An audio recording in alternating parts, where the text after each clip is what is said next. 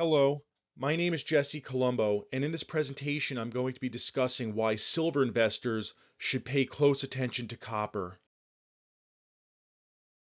First, a little bit about me. I'm an independent precious metals analyst, investor, and newsletter writer.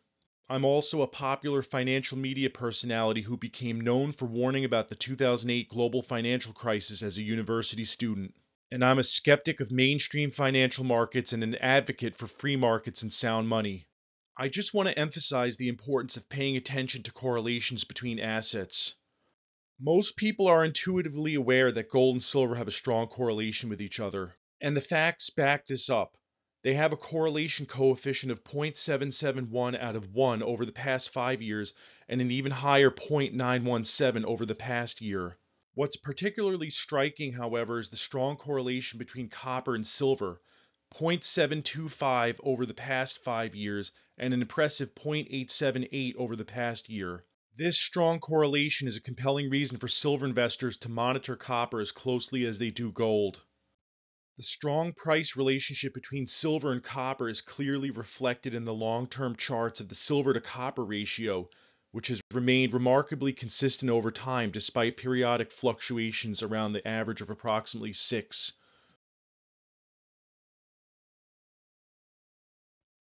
The close relationship between silver and copper can be attributed to factors influencing both supply and demand. From a supply standpoint, silver is seldom mined on its own. Instead, it is typically a byproduct of copper and other metal mining such as lead, zinc, and gold. On the demand side, both silver and copper have substantial industrial applications, driving significant industrial demand for both metals. While silver is often associated with gold, it differs significantly in its demand profile. The majority of silver demand, or 51%, comes from industrial use compared to just 18% from investment. In addition, Rapid growth in industrial demand for silver likely explains the rising correlation between silver and copper in recent years.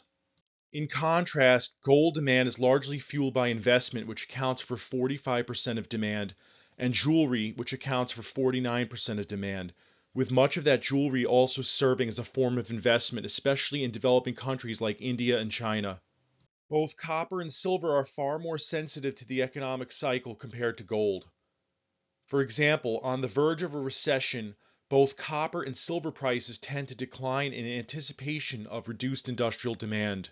Conversely, when the economic cycle is on an upswing, both copper and silver prices typically rise in anticipation of increased industrial demand.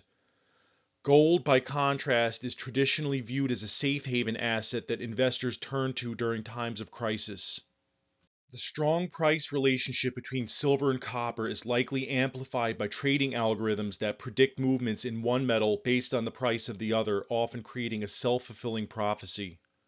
For example, when copper begins to rally, certain algorithms will buy silver so that both metals rally together. Although it's anecdotal, I've often observed silver track copper even more closely than gold, both on intraday movements and over longer time frames. For instance, I've often seen silver rise with copper while gold stayed flat or declined. Other times I've observed silver dropping along with copper even as gold rallied. I'll show a recent example of this phenomenon using the charts in the next few slides. To start, let's take a look at the chart of gold. As you can see, gold surged by $860 or nearly 50% in the past year.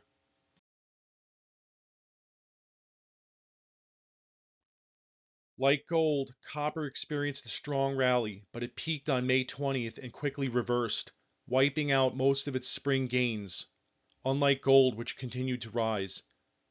Copper bottomed on August 8th and has rebounded since then. Finally, we come to silver, which, like gold and copper, saw a sharp rally in the spring. Like copper, silver peaked on May 20th and experienced a sharp decline, though not as severe as copper's drop. While silver and copper suffered throughout the summer, gold steadily continued to climb. Silver, like copper, bottomed on August 8th and has been staging an impressive recovery ever since. Silver's price movements are essentially a hybrid of both gold and copper's price trends. To test this theory, I averaged the prices of gold and copper, adjusting copper's price by multiplying it by 540 to prevent gold's higher price from exerting undue influence. Then I created a chart based on that adjusted average. Sure enough, the resulting chart bears a striking resemblance to silver's price chart. The five year correlation of this average with silver stands at a solid 0.842, while the one year correlation is an even more impressive 0.956. This is higher than the correlation between gold and silver, which is 0.771 over 5 years and 0.917 over the past year, and even stronger than the correlation between copper and silver, which is 0.725 over 5 years and 0.878 over the past year. This analysis highlights the importance of monitoring both gold and copper to gain a clearer understanding of silver's price movements. Interestingly, performing technical analysis on the chart of the copper gold average seems to be a useful tool for confirming and anticipating silver's price movements.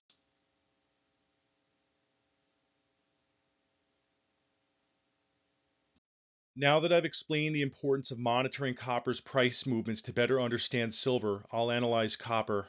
Copper's summer decline unfolded within a channel pattern, ultimately finding support at the key $4 level. Copper broke out of its channel pattern in late August and has since rebounded quite a bit. Copper's stabilization and rebound over the past month has allowed silver to find solid footing and stage an impressive recovery of its own. Right now, copper is in a confirmed uptrend that should continue creating a tailwind for silver. Along with bullish technicals, copper's fundamentals also point to a positive outlook. As the world increasingly embraces AI and green technologies such as electric vehicles, solar energy, and wind farms, demand for copper is expected to surge due to its essential role in wiring and other electrical applications.